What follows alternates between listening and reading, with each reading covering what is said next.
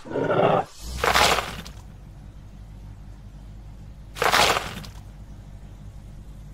जी guys कैसे आप लोग? आई सभी बढ़िया होंगे, अपनी लाइफ में एंजॉय कर रहे होंगे। ये गाइज़ एक्सरे कोर्स की सीरीज़ जिसका ये पार्ट नंबर है सेवेंटी वन एक्सरे आर्टिफैक्ट तो गाइज़ इस वीडियो के अंदर आप जानेंगे एक्सरे आर्टिफैक्ट क्या होता है। एक्सरे इमेज आर्टिफैक्ट बोल देते हैं आप आइए फिर एक्सरे आर्टिफैक्ट ये एक ही चीज़ है। तो उसका क्या कंसेप्ट रहता है? एक्सरे में किस तरह इनका कॉन्ट्रीब्यूशन रहता है? क्या इसके एडवांटेज डिसएडवांटेज है? वो सब आप इस वीडियो के अंदर डिस्कस करेंगे। तो चलिए गाइज़ अभी कह रहे हैं कि एक्सरे आर्टिफैक्ट होता क्या है तो x-ray artifact are unwanted shadow in x-ray image and not accounted for in diagnosis और degrading the x-ray image quality ये देखिए गाइस एक नॉर्मल एक्सरे है, और उस एक्सरे में एक्सटर्नल कुछ भी चीज़ें आ रही है, जैसे उसके कुछ एक्सटर्नल मेटल के हो गए, जैसे पेशेंट के कपड़े वगैरह हो गए, या फिर उसके ऑर्नामेंट्स हो गए, उसने आँखों में, कानों में, नाक में, गले में कुछ डाल रखा हो, वो चीज़ें आ गई, या फिर कुछ मशीन का एरर हो सकता है। ये आर्टिफैक्ट किसी टाइप का हो सकता है, बहुत सारे आर्टिफैक्ट होंगे, वो आप आगे स्टडी करेंगे। तो यहाँ कंसेप्ट ये देखने को मिलेगा गाइस की जो एक्सरे इमेज के आर्टिफैक्ट बन रहे हैं वो क्या है, वो एक एक्सटर्नल शेडो है एडिशनल इन्फॉर्मेशन है, एक एक्सरे इमेज में, जो कि अपने को डायग्नोसिस में भी हेल्प नहीं करती और एक्सरे इमेज क्वालिटी को भी डिग्रेड करती है। मीन्स वहाँ एनर्जी तो वहाँ कंज्यूम हो रही है और उस जो भी रेडियोलॉजिस्ट होगा टेक्नीशियन होगा, उसका ध्यान भी उस जो भी अबनॉर्मलिटी होगी मीन अबनॉर्मलिटी या आर्टिफैक्ट में कवर कर रहा हूँ जो आर्टिफैक्ट होगा, उसके ऊपर ध्यान जाएगा और वो फिर कहाँ ना कहाँ फिर जो भी जो नॉर्मल डायग्नोसिस होगा, उसको फिर इंटरप्ट करेगा। अगर उसको इंटरप्ट करेगा तो अपने को एक्सरे इमेज क्वालिटी बेटर देखने को नहीं मिलेगी। अगर एक्सरे इमेज क्वालिटी बेटर नहीं है तो फिर अपने को, क्या देखने को मिलेगा? एक्सरे डायग्नोसिस भी पुअर देखने को मिलेगा। और ये कह रखा है कि ये जो आर्टिफैक्ट होंगे ना, ये पेशेंट के अंदर के नहीं होंगे। ये आर्टिफैक्ट आउटसाइड द पेशेंट होंगे। जो भी पेशेंट की बॉडी है, उसके बाहर के होंगे। में भी हो सकता है एक्सरे ट्यूब का एरर हो सकता है एक्सरे कैसेट का एरर हो सकता है। मे भी कुछ फॉल्ट वगैरह हो, कुछ भी हो सकता है। जैसे सीटी के अंदर रिंग आर्टिफैक्ट हो गया मोशन आर्टिफैक्ट हो गया। नॉर्मली मोशन आर्टिफैक्ट अपने को देखने को मिलेगा। बच्चे हो गए, जैसे सेंसिटिव केसेज वगैरह में अपने को ज़्यादा देखने को मिलता है। देन कह रहे हैं कि एक्सरे आर्टिफैक्ट में भी result of hardware failure x-ray artifact किसका रिज़ल्ट हो सकते हैं? जो भी कोई हार्डवेयर फेलियर है, उसका रिज़ल्ट हो सकते हैं। या फिर कोई सॉफ्टवेयर का इशू हो सकता है, या फिर इमेज प्रोसेसिंग का। मीन्स एक्सरे कैसेट का, या फिर जिस टाइम आप उसको कैलिब्रेट करते हैं, उस टाइम कुछ इशू हो सकता है, उस टाइम प्रोसेसिंग करते हैं।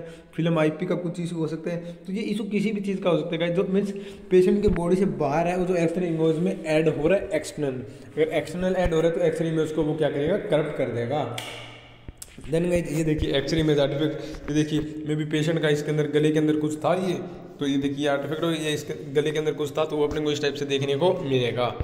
बात की जाएगी, अभी the most common cause of x-ray image x-ray image का आर्टिफैक्ट का रीजन हो सकता है एक्सरे इमेज हैंडलिंग देखिए जिस टाइम कैसेट आप एक्सपोज कर रहे हैं, उस टाइम मे भी हो सकता है कैसेट का कुछ इशू हो सकता है या फिर जो भी टेक्नीशियन है, उसने ज़्यादा ध्यान नहीं दिया। मीन्स ये कह रहे हैं कि इम्प्रॉपर हैंडलिंग की बात हो रही है यहाँ। यहाँ कंसेप्ट आएगा एक्सरे टेक्नीशियन का, अगर रेडियोग्राफी कुछ गलती के कारण आर्टिफैक्ट आ सकता है। Then processing system processing system में अपना सॉफ्टवेयर का सिस्टम हो सकता है, जो भी प्रोसेसिंग हो रही है, जिस टाइम उस प्रिंटर के अंदर डालेंगे स्कैनर के अंदर अपने डालेंगे प्रिंटर के अंदर कुछ इशू हो सकता है, ये सारी चीज़ें अपने को कवरअप करनी पड़ेगी। देन हो सकता है पेशेंट मूवमेंट मोशन आर्टिफैक्ट बोल सकते हो ना? अगर हो सकता है पेशेंट मूवमेंट कर, कोई सेंसिटिव एरिया है सेंसिटिव केस है तो उस केस के अंदर थोड़ी बहुत मूवमेंट वगैरह होगी तो वो फिर इसमें कॉन्ट्रीब्यूट करिए एक्सरे इमेज आर्टिफैक्ट में कॉन्ट्रीब्यूट करिए।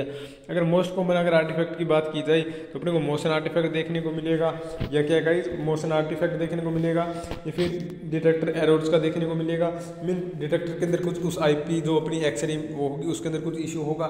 मे भी वो कवर नहीं हो रही है, उसकी सफ़ाई वगैरह नहीं हुई है। तो कहीं ना कहीं फिर एक अपने को जैसे कई बार देखते हो ना, मैंने देखी जहाँ मैं एक्सरे जो मैंने प्रैक्टिस की थी, जहाँ जॉब की थी तो वहाँ क्या था ना, कई बार एक हमारे पास चार कैसेट थी। चार में से एक कैसेट ऐसी थी कि उसमें ना कुछ जैसे बीच में वाइट वाइट वाइट वाइट बिल्कुल बारीक डॉट से आते थे। तो हम उसको ना बहुत कम यूज़ करते थे। तो उसके बाद में पता लगा तो उसके जो आईपी थी ना, वो कवरअप हो चुकी थी। वो मतलब तो उसको सर्विस की रिक्वायरमेंट थी।